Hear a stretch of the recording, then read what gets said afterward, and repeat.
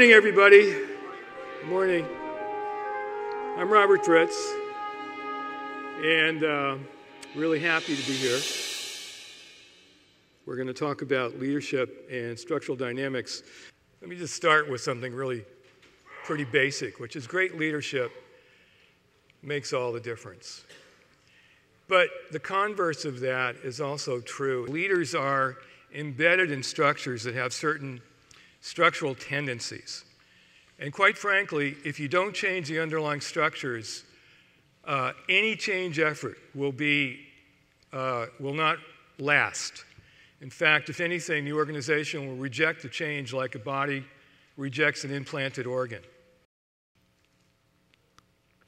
Here's a common pattern someone's not performing well in a position, everything is tried to tra- change situation, make them better, try to improve their uh, performance.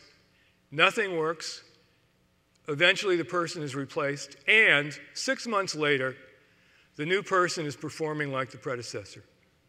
How many people have had an experience like that in your professional life? You just raise your hand for a moment, look around. Just raise your hand and look around, because if you haven't had that experience, notice that many people have. It's a very common experience. Well, in this example, the structure is more causally dominant than people's talents and abilities, their good intentions, their past experience, their creativity, and their capacity for innovation, and a whole host of other really great attributes that they may have as individuals in a different structure. I remember uh, one of the, one of uh, the funny little bits of uh, the fifth discipline is uh, when Peter writes, you take a group of people who have very high IQs, you know, 125, 130, 140, and you put them together in an organization, and the collective IQ goes down to 60 or something. There's something about the way certain things are structured that can either bring out the best in people, but quite often and too often bring out the worst in people. What's the implication? Everything that we say about human motivation is not as influential as the underlying structures people are in.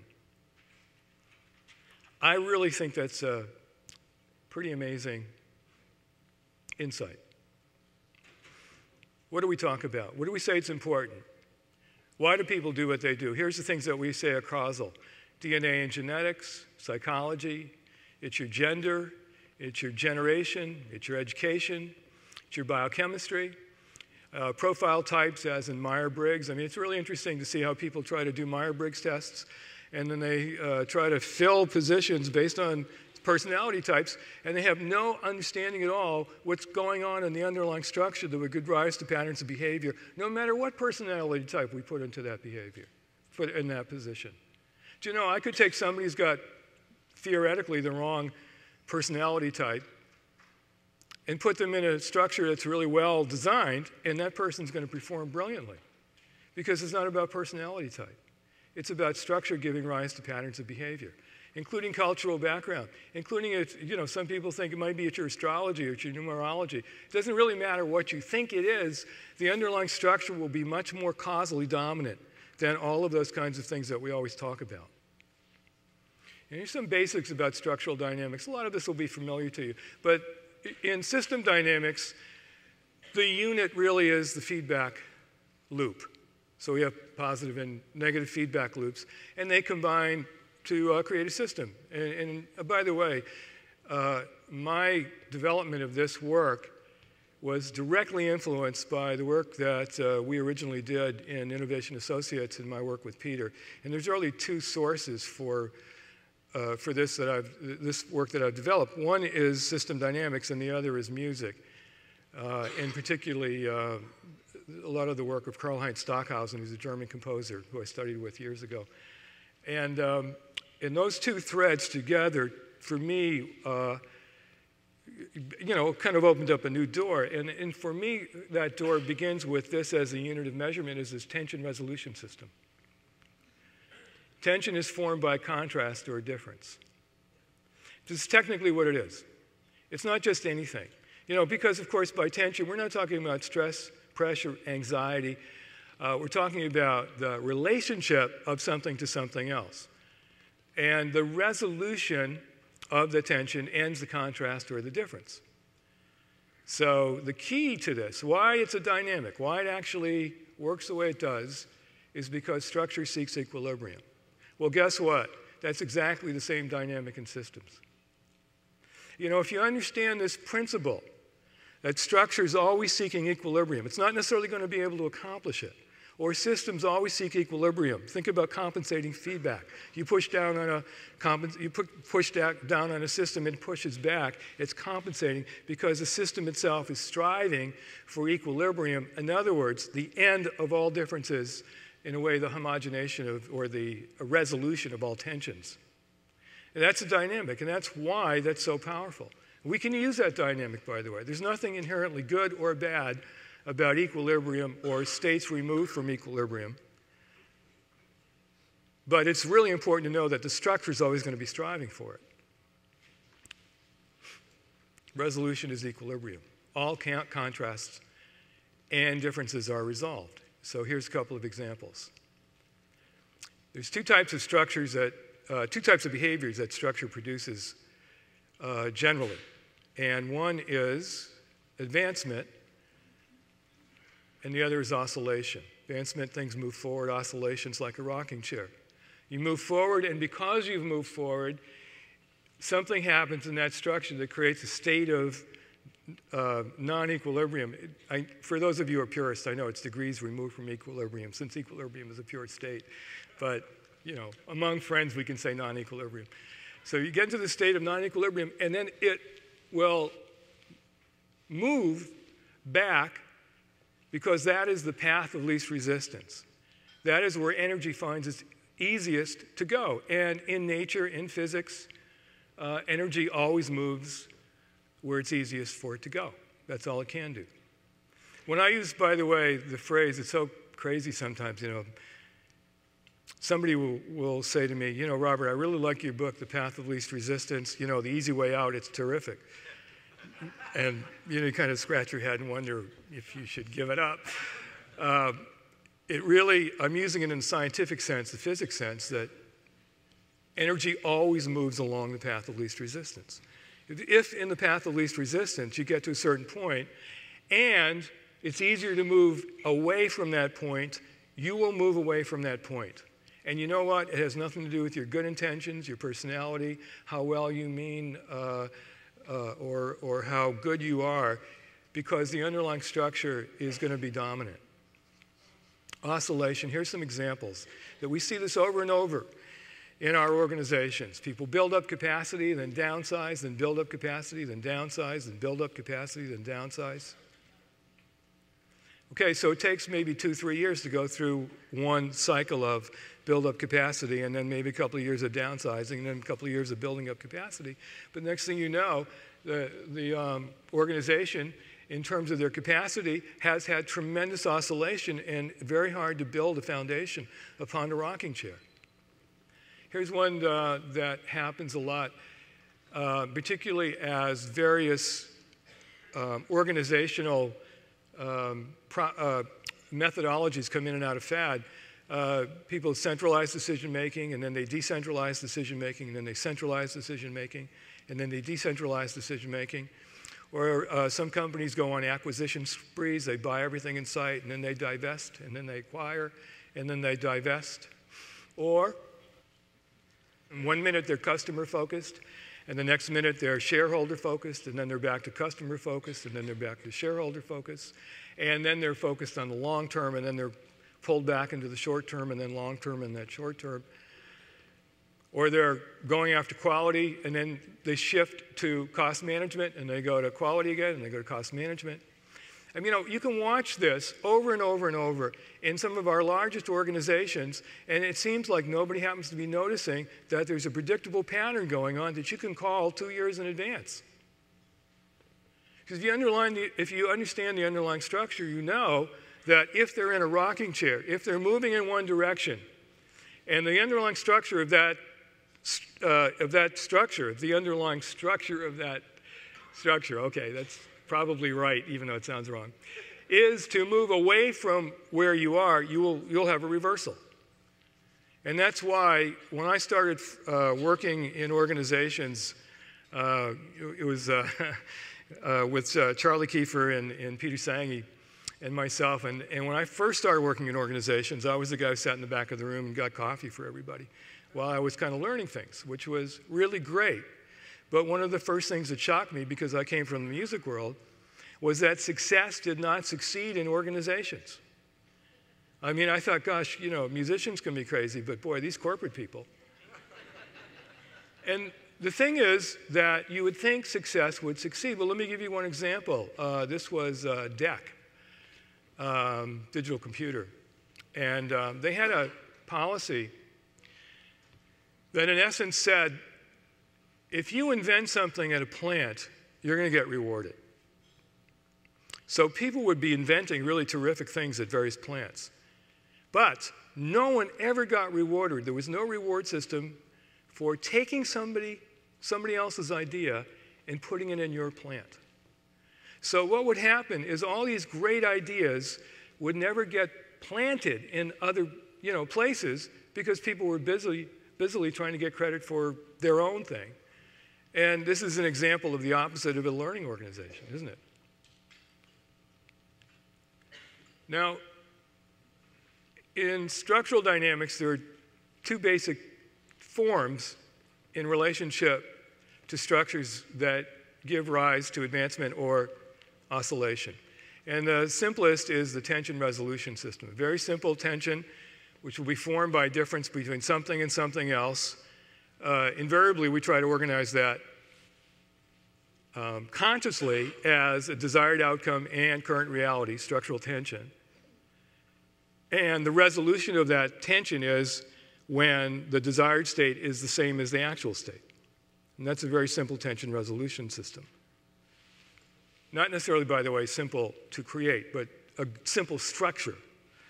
Uh, but here's often what happens instead of that is that we have two competing tension resolution systems in which the points of resolution are mutually exclusive. In other words, as you move toward one, it resolves, but it exacerbates tension on the other. Here's a couple of examples.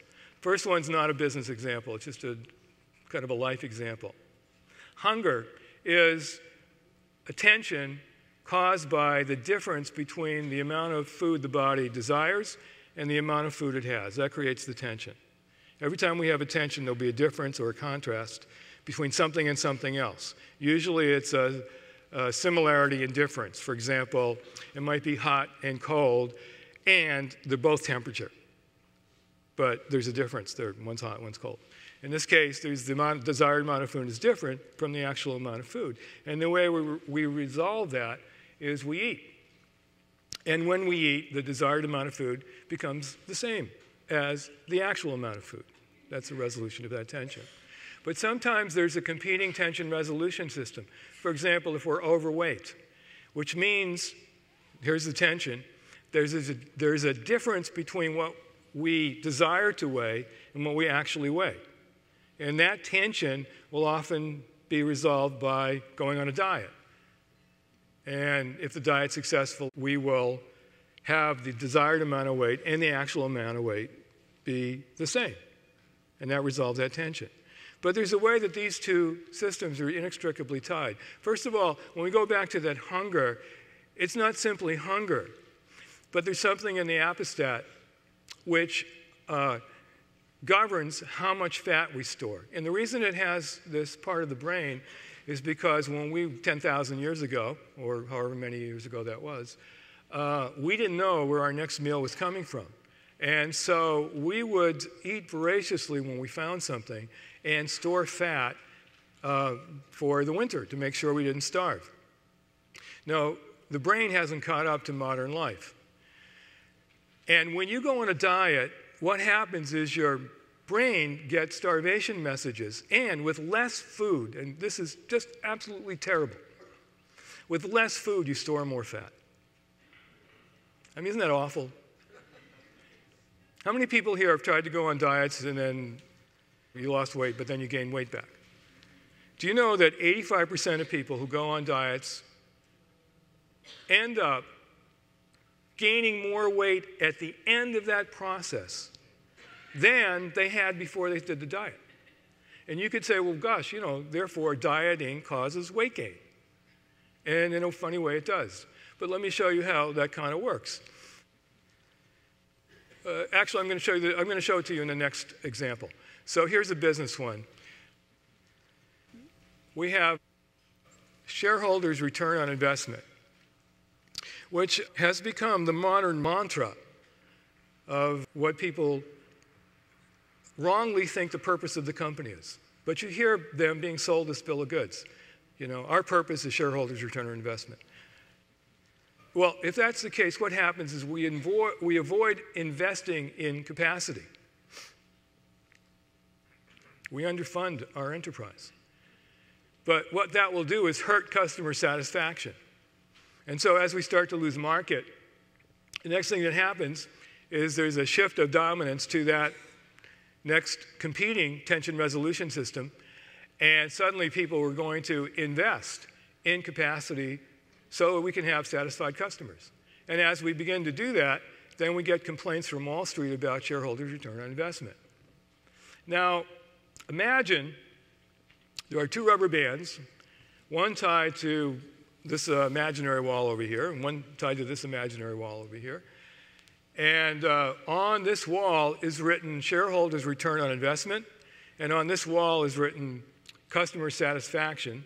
And these are two different rubber bands. Now, watch what happens when I begin to move toward satisfying customers by investing in capacity. Well, the rubber band over here, this tension resolution system, is actually now relaxed or resolved. But this one at this point is at the point of most non equilibrium. This is the point of most tension. And just to make sure I know that you're listening, everybody point to where it is easier for me to go right now in this structure. Just please do it. Good. Thank you so much. It makes me feel so good knowing that you're with me here. Yes, and you will do that because that's the path of least resistance. But now, as we start to move toward satisfying shareholder return on investment. We begin to underfund our enterprise. And again, customers are going to uh, not be satisfied and will go away, and we'll have to address that. And so you see these oscillating patterns, and this is the underlying structure that's causing or giving rise to these patterns. Moving in one direction leads to moving in the other direction, the opposite direction. Here's, here's one way of, uh, of uh, seeing this. It's, it's so, you know, I'm going to say it technically, and I think you'll get it because of your background in system dynamics. The point in this structure of having successfully accomplished one of your major goals is the point in the structure of most non equilibrium, it's the least stable. It's the point where you cannot sustain that over time. And that's why movement in one direction will lead to movement in the opposite direction. You cannot sustain success. Here's uh, the key to changing the structure, and it is to establish hierarchy. Now, when I talk about hierarchy, I, am really not talking about the cliche of hierarchical, stupid stove uh, pipe management uh, that is positional. I'm talking about some things are actually more important than other things. Some things are dominant and some things are subdominant. And now we're going to start to really hone in on what the leadership dimension is to the, uh, to the structure because it becomes so important. The strategic question is which of the competing tension resolution systems will be primary? We, in other words, the key to this is really to designate which of these two competing systems will be primary. That's the job of a leader. By the way, this is one of the things that uh, too often we see leaders not doing. We see them trying to make everything kind of equally work. They stand on the fence. They don't intervene when they need to, and it does take intervention to choose hierarchy here. To just say, okay, look, for our organization, this is going to be more important than that, or that's going to be more important than this, and we're going to organize around that. That becomes our organizing principle. So, for those people who are in this particular structural conflict, if you're the leader, there's one question you have to sort out if you are to do anything but oscillate and that is to decide which is higher, which is more important shareholder return on investment or customer satisfaction. By the way, it will always be customer satisfaction. I'm going to prove that to you in a couple of minutes. But I just want to give you the answer before we go any further. so, leaders have to do a few things. Here's some things I think it takes. Uh, and the first is strength of character. Now, I think there's a lot of things that can be taught about leadership skills and various uh, approaches toward leadership. And this one, I, I'm literally not so sure that it can be taught or can be acquired. Now, I don't know that it can't be. I just don't know. And, and I mean literally, I don't know. So, but I have seen the great leaders have strength of character. They, are, they really will confront and face tough issues they won't shy away and they won't play politics and they won't, they won't have mixed motives. Like, here's an example of a mixed motive doing the right thing for the company on the one hand and having everybody love me on the other. That's often a mixed motive. Uh, working with the structural forces. And again, this is uh, a point that uh, I think was so beautifully made uh, when Peter was talking about who has more influence over a ship, the captain or the ship's designers? And of course, both roles are important. We need the command decision. But we also, though, know that the designers of the ship are going to have much more influence because that will determine how the ship can move through the water. And finally, uh, uh, shared structural tension as a leadership um, approach. I'm going to talk more about all of this stuff in just a bit. Here it is the key to business strategy make them an offer they can't refuse. And I don't mean in the Godfather sense. Make them an offer they can't refuse because it's so great. That is a great business strategy. Now, of course, there's more to it, like making sure they can get it and making sure they know about it, and you know, there's, there's a few other things. But you know, this is essential. With, with this, we can build an incredible co- company and maybe an industry. But without it, we're selling snake oil in some degree or other. Steve Jobs said, killer products bring killer profits.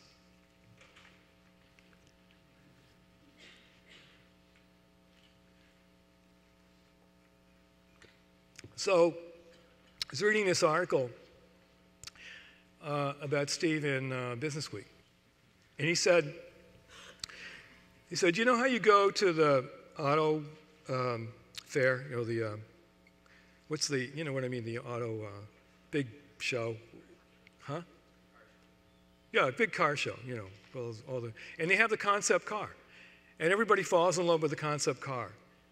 And then a couple of years later, the concept car comes out, and it's not the same thing at all. Nobody likes it. No, everybody, no one buys it. He said, What happened? He said, Well, the concept car got brought to the engineers, and the engineers said, well, You can't do that.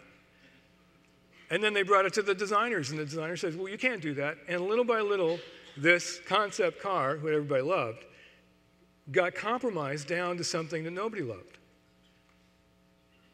So this is, uh, you know, if you were, um, by the way, I don't know Steve Jobs at all, and uh, uh, so it's not like I'm talking about my best buddy here. But if, you're, uh, if you work for Steve Jobs and Steve says, here's the thing we're going to do, and you say, well, you know, Steve, you can't do that because the engineering, he'd say, well, thanks very much, been nice knowing you, I wish you well in your career, and I'm going to go find somebody who's going to say yes. Because he understands this principle. I think that's strength of character. Maybe it's obsessively you know, something else, but I don't think so. I think it's, that's part of the real visionary, is he, he's going for it. He can see things that people can't see yet. Let me give you a couple of examples. He doesn't give people what they want. He gives people what they will want, but don't know they want. That's vision. You know, this is not like putting together a, a, focus group and everybody gets together and decides, oh, yeah, I guess we'll all have it pink or something. Uh, he's, he's imagining what isn't there. So here's the iPod, wipes out the Walkman. I heard the CEO of Sony say, We were caught by surprise. You know, there were MP3 players before the iPod. Sony had a really good one. What Steve Jobs did is he figured out what they're used for. So he wasn't making a machine, he was making a music distribution system. And because he understood that, he made deals with all the record companies. He set up iTunes. He uh, had the right price point, and he built this amazing business that nobody else had thought of doing. I mean, before that, they had Napster, which was basically stealing files, copyright infringement. And he made it legal by giving the royal companies their due, making it a good business deal for everybody, and making it convenient for everybody to have music they want where they want it, which was the whole point of why people wanted these little machines. Uh, the iPhone uh, challenged uh, all of the successful phone companies. One of my clients uh, makes name tags for things like Motorola tele, uh, uh, cell phones and no, no, no, Nokia, and you know, all the major things. And their um, orders went down dramatically when the iPhone went out because the iPhone was just wiping out the industry. Why? Because he saw things that people wanted before they knew they wanted it. When he came out with it, suddenly he was a dominant market player. It's really extraordinary leadership. Now, um, just to show you a little bit of compositional technique in terms of how do you put this organization together, the, how do you compose the organization. And it is what I describe as object oriented management. Object oriented management is like object oriented programming. And the object, in this case, is a structural tension chart. And I'm, and I'm going to show you telescoping in a minute and how to use that. Uh, but here's the principle of structural tension. You basically have a desired outcome. And by the way, this would be a structural tension chart, not just structural tension, but actually a chart of one of the ways that we, uh, we record the information. So we have a desired outcome, we have current reality, we have the action steps. That creates a tension. And remember, that tension is not a metaphor, that's a dynamic. And great leaders hold that tension. And so we certainly have to always know what is it that we want to create where, where, and where are we now in relationship to that. So, tension, by the way, is not a gap. You know, I kind of laugh when I hear that, that it's a gap. Um, I'm not a great harmonica player. Okay. but, uh, and if I had a piano, I'd, I'd do this with a piano. But I'm going to play a tension resolution system. And you tell me when you hear the gap. Well,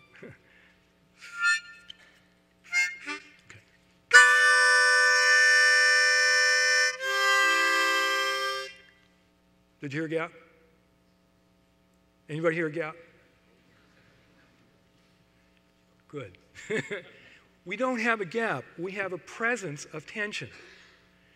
So, you know, we're not having nothing in there. There's something in there. And there's something in there is a dynamic. And that strives for resolution. So, you know, we're not talking about something here that's metaphorical or nice. We're talking about something that's powerful, causal, because as we hold that tension, it will strive for resolution. Our minds will begin to become creative. We'll start to work it. We will have the energy, we'll have the foresight, we'll have the stamina to move from here to there because tension seeks resolution. So as it's moving toward equilibrium, as it's moving toward resolution, that becomes a dynamic so that you're no longer pushing rocks uphill, but in fact you're working with the forces in play. A gap is an absence of something. It's a matter of orientation. You know, one of the things also that we really try to help people do is move from a problem orientation to a, a, an outcome or a creating orientation. People, managers, love problem solving. You got a nice, juicy problem, you don't have to think. The problem kind of organizes you, and you feel like you're doing something important. The thing about it is that, uh, see, structural tension, you can actually resolve it. But with problem solving, or um, often it's conflict driven, you have the cycle where conflict drives action, which then reduces the conflict, which then leads to uh, less future action. Change motivated by conflict will always be temporary. That's an oscillating pattern. People will mobilize in times of war, but they never stay together after the war. Uh, I remember somebody saying that uh, Americans have the attention span of a gnat. And the comment was about fundraising for some worthy cause. And the worthy cause was trying to be motivated through conflict. He didn't understand the underlying structure is if you drive the conflict, eventually people will take action to reduce the conflict. And once they've taken that action, their motivation to act in the future has gone down.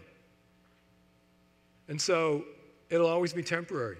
This is why, you know, people will watch a program on CNN on diabetes, and it'll scare the, you know, daylights out of them, and they'll change their diet for a week or two, and then a week or two later, they're back to the races to eating what they used to, because the motivation of reacting against the conflict has been reduced by the actions they've taken, which then led to further less conflict, which led to further less motivation.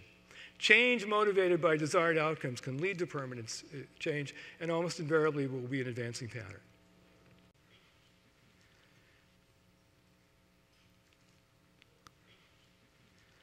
You can solve all of your problems and still not have what you want. Like, just kind of let this sit for a second, okay? Because I know some people get very. I remember I was talking to a, uh, this lovely guy from Harvard. He taught a management class at Harvard. And after I was um, through with my talk, he came over and he said, I'm really struggling with this problem solving thing. And I said, Why are you struggling? It's so simple. You know, problem solving is not creating, and problem solving, taking action to have something go away. And you can solve all your problems and still not have what you want. What's so hard about that? he said, Nothing's hard about it. I just hate, hate it because I've been teaching problem solving for 20 years. well, okay, you, you know, fair enough. But that is, but you know, God bless the guy. He really was thinking it through, though. So if you actually reorient your thinking, so if somebody comes to you and say, "Boss, I got this problem," and we've trained the folks in our client organizations to to try this. Wait, before you tell me about the problem, what's the outcome we're trying to achieve? Okay, and where are we now in relationship to that? Which would include the problems, but also the good, the bad, and the ugly, include everything. And then how are, how are we moving from here to there? And then the, a different kind of discussion happens, which is a discussion that's about creating this outcome, not about solving the problem. And we may, in fact, have, as one of the things we do, solve the problem, but that's not the motivation. The motivation is to accomplish our desired end result. So we have a desire for an outcome which leads to an action, which continues until the result is achieved, and what do we need in the creative process? A clear idea of what we want to create and a clear idea of where we are. Now, it's easy for me to say that. The discipline it takes to be clear about what we want and to be clear about what we have is a lot of discipline, and it's not natural. All disciplines are not natural, and this is not natural. It's natural to avoid conflict. It's natural to try to not hurt each other and, and, and not address things that are really wrong. It's na- human nature. We want to avoid emotional conflict. Professionalism. But even though we want to avoid it, on behalf of the thing that we want to create, we are willing to address it as a secondary choice to our primary choice of successfully creating what matters to us. Shared vision is powerful. That's one of the fifth disciplines, one of the five disciplines. But even more powerful is shared structural tension. So I have shared vision, but I also have shared current reality. And I may even also have shared action plan between here and there. So we have a collective focus on desired outcome and a collective focus on reality. Are you seeing what I'm seeing? Am I seeing what you're seeing? And if we're not seeing it together, if we're, we're not aligned about how we're seeing it, how, how are we to understand what you're seeing? How am I to understand what I'm seeing? What are, you, what are you seeing that I'm not? What am I seeing that you're not? And then we have a real dialogue that's motivated by us trying to explore reality in relationship, not just any old reality, but reality in relationship to our desired outcome. Like a, an archer stretching the bow, aiming the arrow. That's structural tension. Look, if I didn't have enough tension, I couldn't get the arrow to the target. Everyone is holding it. Collective, shared structural tension. Okay.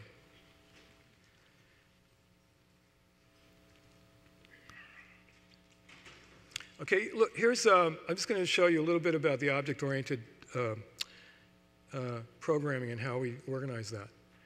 So, structural tension chart will have the desired outcome or strategic objective or goals or something we want. It'll have current reality described in the bottom. It'll have action steps.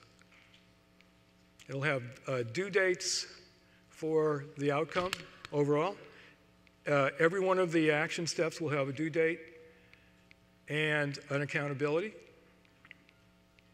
Okay? So that is basically the object. Now, object-oriented programming, you take an object and you put it in different places in the program, and you, you have different content. But because the form is the same, you can multiply uh, a very sophisticated program fairly easily because of object-oriented programming. Anybody here do object-oriented programming? Okay, well, I, that's how it works. And this is how it works here, too. Mean, it's a really interesting thing where I can go anywhere in the organization and say to somebody, What is the outcome you're after? Where are we now? What actions are you taking? What are the due dates? Who's accountable? How's it going? Et cetera, et cetera. That form actually organizes our thought process. And uh, the object, so there's the object, is actually the structural tension chart. And telescoping is uh, sometimes we have a master structural tension chart where we have a bunch of actions. Uh, and one of those actions, each one of those actions, can be telescoped out to a new structural tension chart.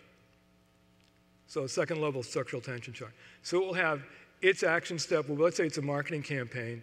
Uh, then the details will be developed, marketing campaign by whatever the date is, current reality is whatever is in, so for the marketing campaign, action steps, accountabilities. And that way you have an integrated, it's very much like a relational database versus, an, versus a non-relational database, where things actually, it's, it's such, so wonderful because you have a high degree of sophisticated organization without ever micromanaging anybody. I mean, people can really do use their talents or imagination, do, do whatever they need to do. We're not telling them how to do it, but they are able to uh, know exactly what their role is within a larger creative process. Now, lastly, this is the last point I want to make. And it's, again, one of the places where I see the failure of leadership um, chronically, and it is the executive team. And often it's, there's a disconnect between the CEO or whoever the managing director is and the exec team. You know, this is like real world stuff. This is what we see. And what has to happen is that leader, the CEO or managing director, whoever it is, that exec team has got to be aligned. because if they're not aligned, it's not going to happen anywhere else in the organization. This is another dimension of leadership. In fact, this is the first critical test of leadership that good teams, alignment and division of managerial disciplines, beautifully uh, aligned, and bad teams is there's always power politics, competitive, uh, uh, competitive goings on, turf wars, people undermining each other, or just simply ignoring the uh, executive team. Uh, uh, the, the CEO. And sometimes it's because the CEO, him or herself, has trying to has a conflict or mixed motives, trying to have everybody like that person and trying to do a good job. And sometimes those are mutually exclusive. So um, I'm just going to quickly put it all together here. Leadership is critical. Leaders are subject to the structures they're in. Without a change of underlying structure, change efforts will be reversed. That's if it's an oscillating pattern, by the way. Uh, structural conflicts can be addressed through hierarchy. Uh, it's, that hierarchy is a leadership decision. Uh, many leaders are pressured to think short term. Short term thinking without a sense of long term vision will hurt the organization. Uh, the purpose of a company is not shareholder return on investment, no matter how much Wall Street tries to convince us it is. Uh, maximizing profits undermines the company's ability to grow and better compete in the marketplace. The key to business strategy begins with making an offer they can't refuse. Composing the organization aligns resources systems toward a common direction. Shared vision is good, shared structural tension even better. The senior most person needs to have an executive team that is aligned and masterful in implementing the strategies. Too often, the executive team is the first dimension to undermine strategic alignment. Leaders are needed throughout the organization. This is not a point I've made up to this point, but one that I think is uh, important to, uh, to articulate. That, you know, we, well, I'm talking today about senior most leadership because often people don't talk about that. We kind of speak in general terms and kind of ignore the obvious, which is the senior most, per, uh, senior most group of people are not really doing their jobs. But when they do their jobs, what's available now is a, a dissemination of leadership a multiplication and amplification of leadership throughout the organization. And that becomes golden. That's unbelievably uh, wonderful to see. Uh, structural tension as an object gives them direction and coordination. Here's how you can take complexity and organize it very simply into both a unified and aligned uh, direction, yet have all of the freedom in the world to express your talents and your, and your creativity and your imagination. Leaders need to think in terms of outcomes and not problems. Uh, one job of the leader is to build capacity for the future. Great leadership makes all the difference. Okay, well, anyway, you get the point. All right, so uh, thank you so much. It's been uh, great talking.